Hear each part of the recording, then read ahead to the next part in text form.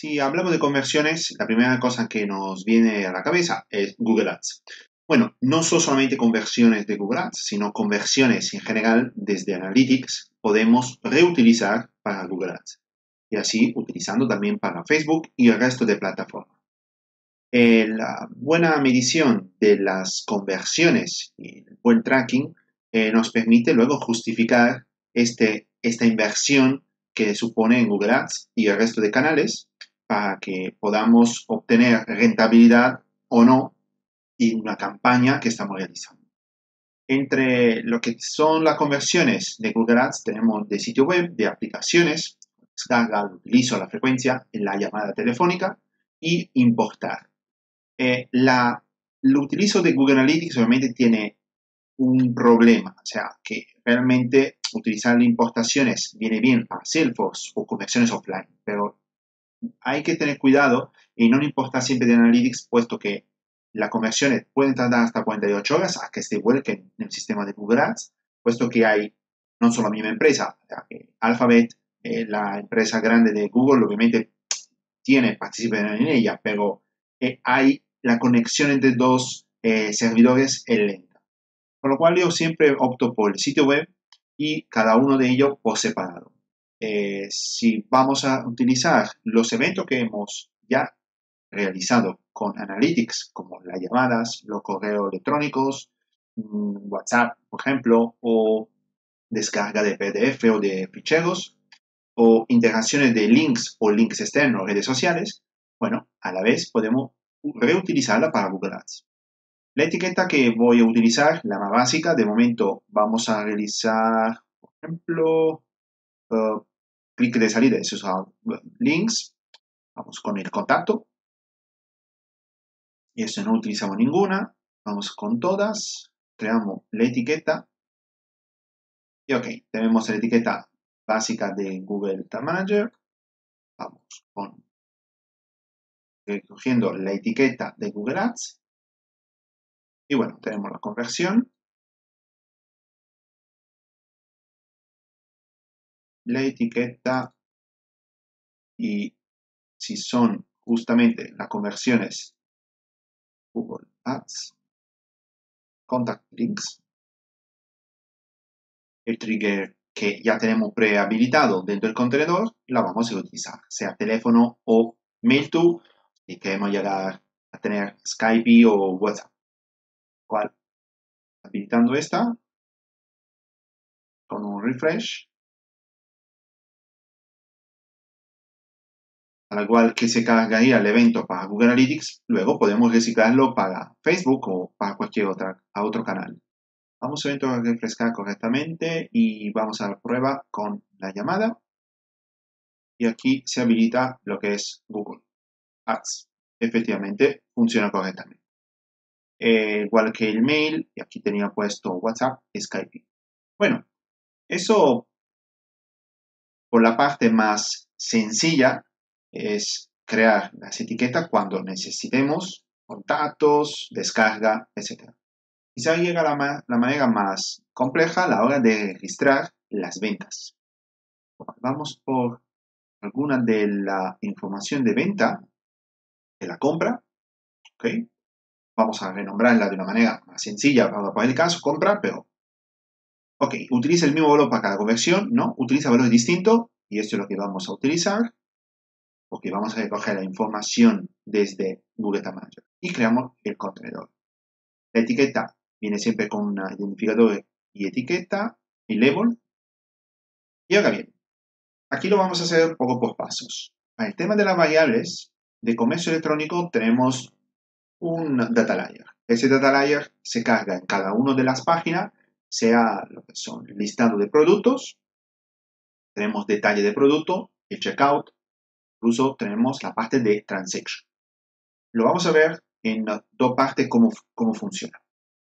Nos ponemos momento en la, la demo de lo que nos proporciona Google, ¿de Por lo cual el grid general son impresiones. Bueno, ese es el product click. Clic en el producto con una serie de informaciones. Tenemos el click, el tipo de página donde pertenece y nuevamente tipo de producto, la ID, el nombre. En general, todas ellas son impresiones. Se generaría, en este caso, impression. Y cada uno de los listados lleva el ID, el name, el price. Eh, si tenemos promociones, también son impresiones eh, de promociones y clic de impresiones. El producto, cuando tenemos el link, el detalle, además de tener las impresiones en el caso de productos afines, tenemos la to cart y el remove from cart. Por lo cual, Data Layer recoge toda esta información y cuando nos encontramos en el checkout, tenemos el Start Checkout con todos los pasos. Por lo cual, hay que tener claro cómo funciona cada una de ellas. Bueno, tenemos el checkout paso 1, paso 2, paso 3. Ahora vamos a ver cómo transformarlo en Google Tamaño. Eh, el contenedor precargado ya viene con unas variables, pero para que entendamos cómo funciona el todo, vamos paso a paso. Eh, primero, Data Layer es e-commerce, con lo cual tenemos de un lado el uh, general Data Layer, vamos a filtrar, ordenar, ¿sí? Data Layer e-commerce es e-commerce, perfecto. Y ahí tenemos los siguientes pasos. Es e-commerce step data. Entonces tenemos cuando e-com, cuando se carga el data layer, podemos tener un clic, un detalle, añadir o remover, checkout, el purchase, el refund. Básicamente son todos los steps que existen en el comercio electrónico mejorado. Esto a la vez se vayan a Google Analytics. Y, pero de una manera yo tengo que recoger estas variables para mandarlas a los otros canales. Lo cual sí que me hace falta recogerlos y gracias a los scripts que Lunametrics, Bonteus nos proporcionó en su momento, podemos realizar estas operaciones. Si no, va a ser complicado. Bien, vamos a entender también lo touch point. Touch point quiere decir qué es lo que está ocurriendo en dado momento. Por lo cual, cuando tenemos impression, me devolverá la product impression o el product click. Detail, add to cart, remove from cart, tenemos el checkout, purchase y refund. Con lo cual, entendiendo todo esto, podemos estar reutilizando toda esta información y enviarla a donde queramos. Por ejemplo, en el caso de las impresiones, dice, en el caso son impression, me devuelve impression. El purchase transaction ID me devuelve el transaction ID. Y aquí podemos tener el SKU list, podemos tener incluso el nombre de los productos, podemos tener el currency code, tiene que estar más por aquí, bueno, tenemos el revenue, es el total de la compra, el shipping amount, el tax amount. Eh, en algunos casos es preferible quitarlo de lo que era revenue, realmente no nos aporta mucha información, la currency code. Eh, en algunos casos, bueno, lo vemos ya en Facebook, cómo ampliar la información del product skip list. ¿Por qué motivo? El listado de Facebook viene con un listado de tipo arreglo, cual el producto de la, la información de la tarjeta también faltaría. Cuando vamos a la final, purchase, ok, tenemos la base de información. Está recogiendo actualmente el ID, en este caso de los productos, pero necesitamos también recoger de los productos el name, price de cada uno de los productos, brand, category, la variante, las dimensiones, o sea, el resto de variables que pueda tener el data layer, sea personalizado o por defecto. El transaction ID tiene el Purchase ID y la Transaction ID, Affiliation si en caso no la tengamos, y el Revenue, lo va a estar recogiendo el Revenue. Comentado todo esto, cuando montamos la etiqueta de Google Ads de compra, vamos con el paso la compra, tenemos el identificador, identificador sea único, podemos crear también una constante, una variable, así la tenemos almacenada.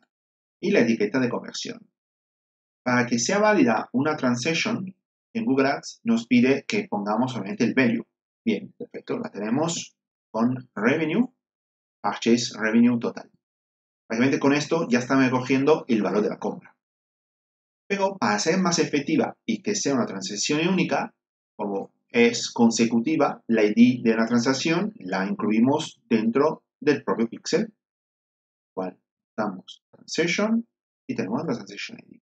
Faltaría solamente el currency code, que eso se la está recogiendo, aún mejor. Tenemos ya las tres informaciones y con esto nos faltaría solamente poner el trigger, caso cuando el page view purchase. Bueno, en mi caso de utilizar el plugin de WordPress Douglas Tommy, utilizamos este custom event. Google Ads Purchase. bueno, eh, tenerlo guardado en una, una carpeta. Creo que el anterior tampoco lo hice, pero bueno, lo vamos a, vamos a guardarlo. En vez de tenerlo siempre todo ordenado por carpeta, así que vemos cómo eh, buscarlas. Ok, vamos a refrescar y vamos a realizar la prueba. vamos a meter algunos productos en el carrito. Estamos midiendo solamente lo que es la compra y podemos replicarlo a la vez con los siguientes pasos. Eh, de conversiones podemos utilizar realmente todo. Medir es la mejor forma de saber si efectivamente lo estamos haciendo bien o no lo estamos haciendo bien. Creo que es un dominio un poco así. El video recibido. Ahora, si todo va bien, y deberíamos tener Google Ads Purchase, y efectivamente tenemos la ID de pedido, 248, que justo está por aquí. 71,99, que es el valor de la compra. Aquí está. Y entonces esto ya es una conversión única para Google Ads y no hace falta, digamos, mandarle más informaciones. En el caso de Remarketing Dinámico tenemos una sección más ah, adelante que os explica cómo construir la, toda la etiqueta e incluso dentro de Google Ads de Purchase, tenemos la posibilidad, además de utilizar el Conversion Linking, o sea, la etiqueta de Conversion Linking hay que utilizarla, creo que no la tenía habilitada. El Conversion Linker. Bueno, esto lo ponemos en todas las páginas. Esta guardarla automáticamente dice, ¿qué llamas la Conversion Linker? Le demos que sí. Y vamos con el Google Purchase y vamos a utilizar el Provide Product Level, donde podemos incluso añadir más informaciones o bien del data layer o del custom field. ¿Qué quiere decir? Que bueno, si quiero utilizar un listado de productos o el feed language o el country merchant ID, eso ya viene de lo que es el merchant center, ¿de Pero, ¿qué pasa? Utilizando el data layer, realmente estamos dando información directamente del data layer. Eh, tenemos en cuenta, voy a meter aquí, la información de layer, que justamente como lo estáis viendo, incluye todo el listado de producto. Muy bien, ya que estamos con la parte de personalizaciones, ahora vamos a realizar la otra etiqueta. Por ejemplo, la, Vamos a crear una. La que dice añadir al carrito. Bueno, claro, si queremos añadir al carrito, incluso podemos utilizar valor distinto por cada uno de los carritos. Vamos a crear y continuar. Y vamos nuevamente a Manager. Y le damos a guardar. Y vamos a reutilizar la misma etiqueta, pero diferente este caso le vamos a dar copiar. Y esto es a tu cart. Bueno, ¿qué tiene en común a tu cart? A tu cart, cuando metemos en el carrito un producto, realmente se habilita un data layer. El caso es el siguiente. El evento se llama a tu cart, lo cual realmente podemos reciclar este a tu cart en el caso de otro plugin, utilizaríamos otro plugin. Y lo que necesitamos utilizar de e-commerce add, todo el listado del producto. como es un solo producto y uno a la vez, realmente a tu cart es cuántas veces añadimos productos en el carrito y no la, la visión del carrito. Con lo cual, a tu cart tenemos, bueno, voy a ID es la misma, en lo que es el label es distinto. Okay. ok, el conversion value, como no tenemos la order ID, en este caso sí que podemos tener la, el ítem o el carrito, es distinto. El currency code lo dejamos y el product level, esto lo quitamos porque solamente es para la venta. Ok, tenemos la información del carrito. Vamos a quitar esos dos. ¿Y cuál sería el carrito? Bueno, de la parte de carrito hemos dicho, o bien tenemos un evento personalizado, puedo hacer, a tocar, entonces el custom event de comercio electrónico a tocar.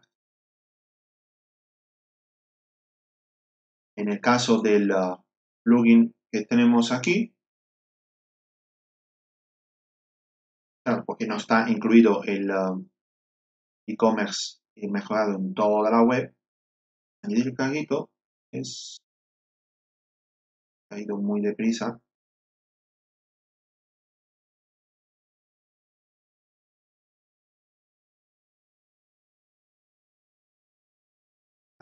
El inspeccionador.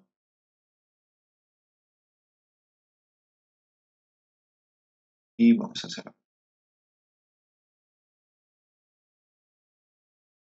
Ok, básicamente es este que veis a continuación, justo toda esta información. Custom Event del el Tommy, lo cual es este, Add Product to Cart ES. Voy a renombrar así. De hecho, en el, módulo del uh, Tommy, cómo se personaliza el e-commerce eh, basado en estos eventos, bueno, hay una serie de eventos que mandamos a Google Analytics y podemos reutilizar estos mismos eventos. Bueno, básicamente tenemos la Purchase Revenue. Eh, y en realidad es erróneo. Deberíamos tener el product, que nos viene, todo el product value y como order ID, obviamente no hace falta meter más informaciones. Le damos a esta guardar Y bien, vamos a este, vamos a refrescar.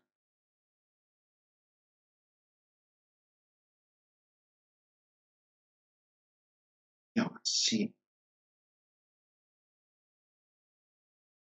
Si todo va bien, vamos a... Oh, incluso hacer una cosa. Hazlo.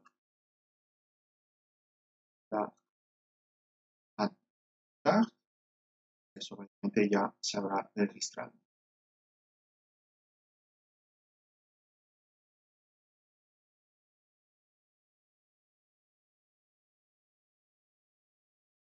Aquí tenemos más informaciones, Analytics, la Goal, Goal Metric. Deberíamos tener en los eventos, o aquí,